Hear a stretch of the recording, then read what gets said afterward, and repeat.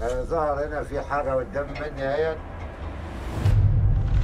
To discover a complete tomb, it is incredible.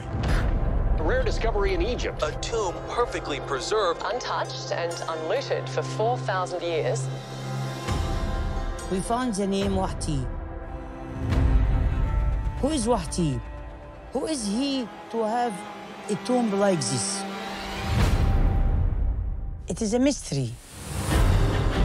Saqqara is the most important archaeological site in Egypt. A real treasure trove.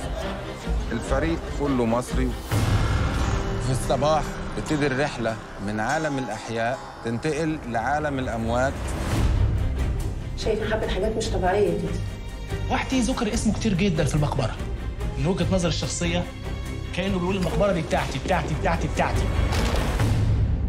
What happened here? Some missions worked for one or two months or three months and nothing found. And here, as you see today, every 30 seconds we found something new. Oh, my دايما كانت بتدينا اللي ما بنتوقعوش الله Hele This is no domestic cat. My God, it's amazing. It's mind blowing to think of what this might represent in terms of our understanding of ancient Egyptian culture, economy, religion. If we can find Wahtye and his mother and his wife and his four children after 4,500 years, that would be better than finding gold.